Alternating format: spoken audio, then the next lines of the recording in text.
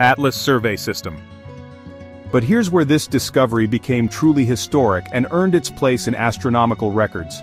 After extensive trajectory analysis by the Minor Planet Center, the object received its official designation as 3I Atlas, where 3 I signifies it as the third confirmed interstellar object in human history.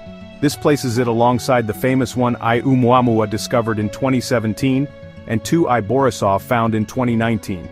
However, 3I Atlas quickly distinguished itself from its predecessors in a remarkable way.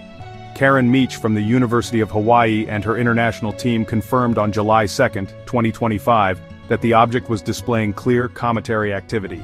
Unlike Oumuamua, which remained enigmatically inactive throughout its visit, 3I Atlas developed a visible coma and tail almost immediately after discovery.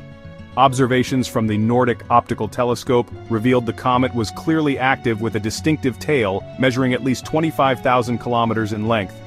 John Tonry, principal investigator of the Atlas project, noted that this discovery validated their sky survey system's capability to detect rare astronomical phenomena. The rapid identification of cometary activity made 3I Atlas the second confirmed interstellar comet, providing scientists with an unprecedented opportunity to study active sublimation processes in a visitor from another star system.